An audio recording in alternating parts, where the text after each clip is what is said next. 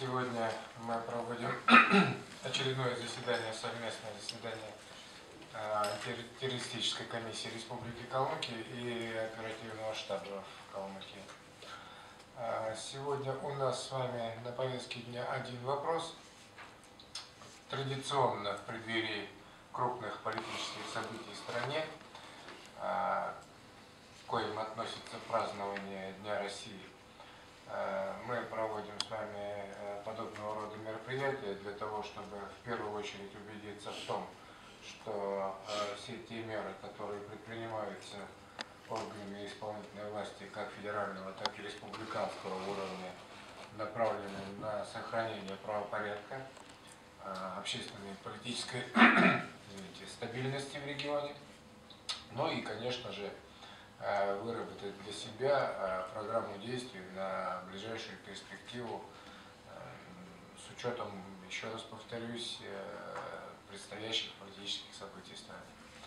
Но, э, несмотря на то, что мы сегодня будем говорить э, конкретно о обеспечении общественного порядка в дни праздника, я хотел бы упомянуть еще об одной детали, которую мы, наверное, в рабочем порядке сегодня тоже обсудить, но я хотел бы, чтобы она вошла в протокол сегодняшнего заседания. Это Э, празднование 45-летнего юбилея Калмыцкого государственного университета имени Дасана Бадминовича Гордеякова.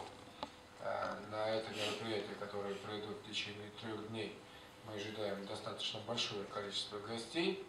И что самое немаловажное, это будут гости э, из-за рубежа, как ближнего, так и дальнего зарубежья, чрезвычайные полномочные послы стран Э, граждане, которых э, учатся у нас в республике. Э, вот этот момент мы тоже должны с вами сегодня обсудить. Я думаю, это было бы правильно.